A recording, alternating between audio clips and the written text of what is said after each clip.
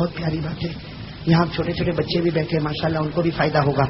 इसलिए मैं तो चाहता हूँ मर्दों को, बच्चों को माँ बहनों को भी फ़ायदा हो जाए। मेरे दोस्तों, एक बहुत अजीब गरीब वाकया। जिस वक्त हमारे नबी वसल्लम की उम्र थी नौ साल। कितनी? नौ साल। हाँ हमारे नबी वसल्लम की उम्र थी। नबी बने थे। नहीं नबुअत कब मिली? चालीसवें साल। और अभी उम्र कितनी है? वो वाक्य मैं बता दू। मेरे दोस्तों, खुश हो जाओ। हमारे नबी वसल्लम की उम्र थी नौ साल। और मक्का मुकर्रमा में पानी नहीं। मैं मक्का मुकर्रमा में ठान। लोग बड़े प्यासे, बड़े परेशान बड़े परेशान। आसमान से पानी बरसता ही नहीं। सारी नहरें खुश हो गई, सारे तालाब खुश हो गए। जानवर बिलबिला रहे बच्चे बिलबिला रहे जानवर परेशान। अब मक्का वाले करें तो क्या करें भाई, आसमान से पानी आता? तो सारे मक्का के बड़े बड़े चौधरी, इकतीस, कितने?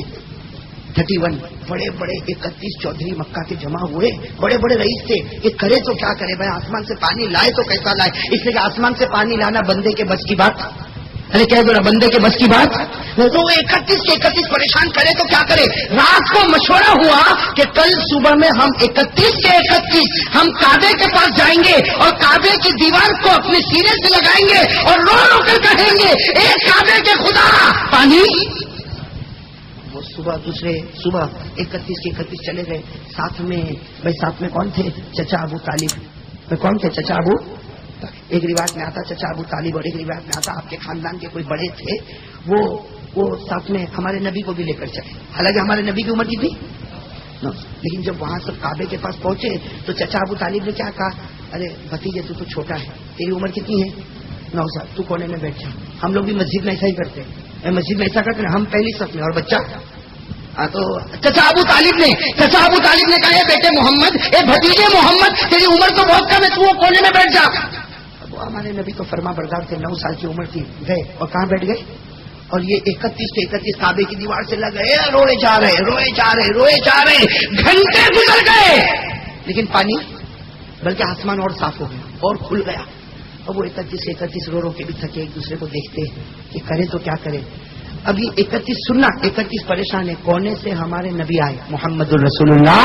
नौ साल की उम्र हमारे नबी आए और चचा अबू तालिब का कपड़ा पकड़ा और कहा कि मैं काम करूँगा तो पानी आ जाएगा।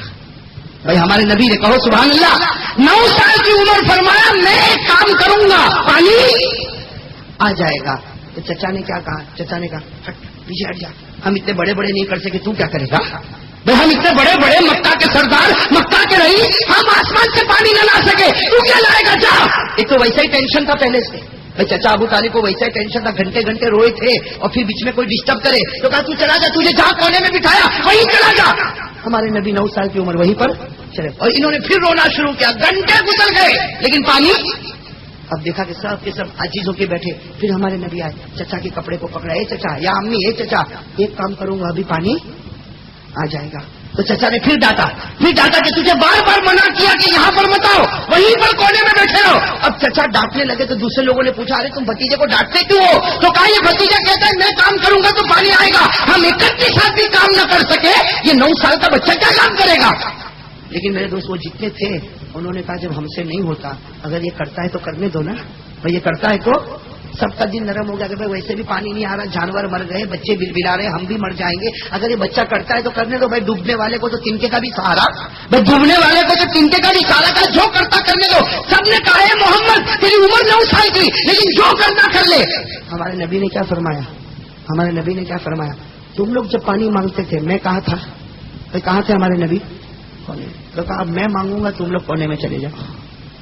अरे कहो ना सुबह अल्लाह। हमारे नबी ने फरमाया, जब तुम पानी मांगते थे, तुम आगे थे, मैं पीछे था, अब मैं पानी मांगूँगा। मैं आगे रहूँगा जो कोने में मैं बैठा था, वहीं चले जाओ। तो वो इकतीस को हिम्मत ये सोचे कि हम कैसे वहाँ कोने में जाकर बैठे? हाँ इसलिए उनको तो बड़ी शर्म आती थी। उनके यहाँ तो लड़की भी पैदा हो जाती थी तो उनको अच्छा नहीं लगता था।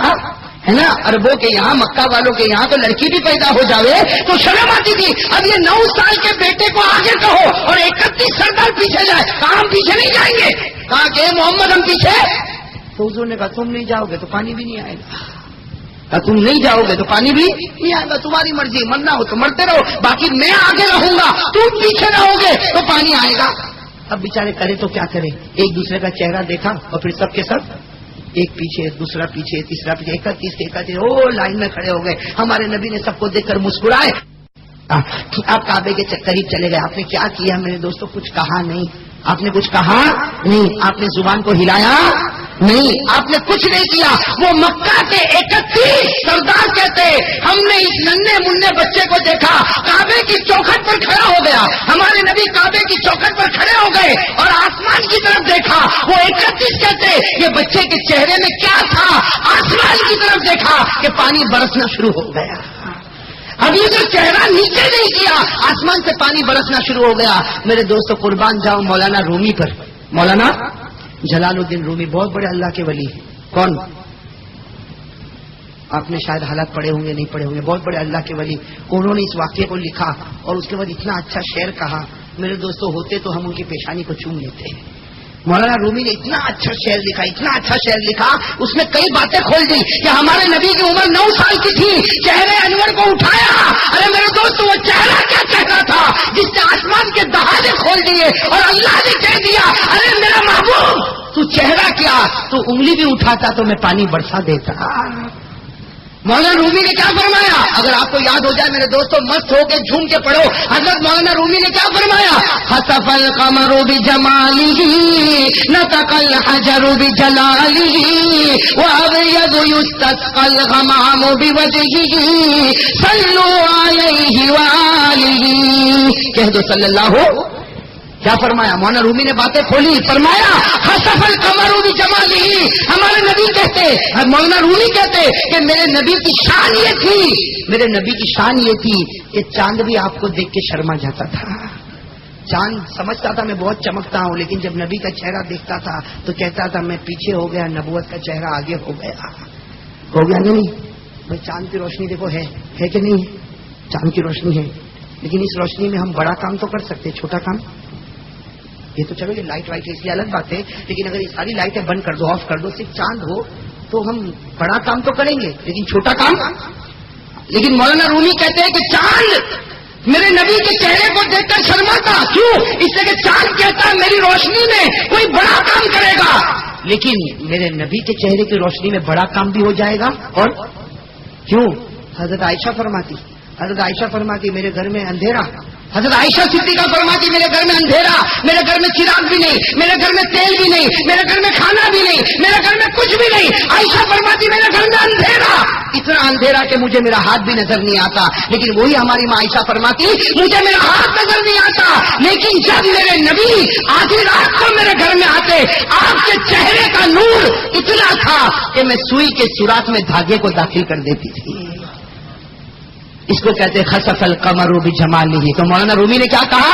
खसफल कमरू भी जमाली ही न तकल हजरू भी जलाली मौलाना रूमी कहते चाँद ने जब नबी का चेहरा देखा, चाँद शर्मा पत्थर जो सख्त है, लेकिन नबी का जलाल ऐसा था कि पत्थर भी पीछे से आवाज़ देता असलात वसलाम या रसूल अल्लाह तो ये हमारे नबी का जलाल था कि पत्थर भी बोल पड़ा। आपका जमाल था कि चांदनी शर्मा गया और आपका चेहरा था कि आसमान की तरफ़ उठा तो खुदा ने रहमत की बारिश बरसा दी। इससे दरूद पढ़ना हो तो किस पर पढ़ो? सल्लु अलैहि सल्लाह भाई कह दो सल्लल्लाहु।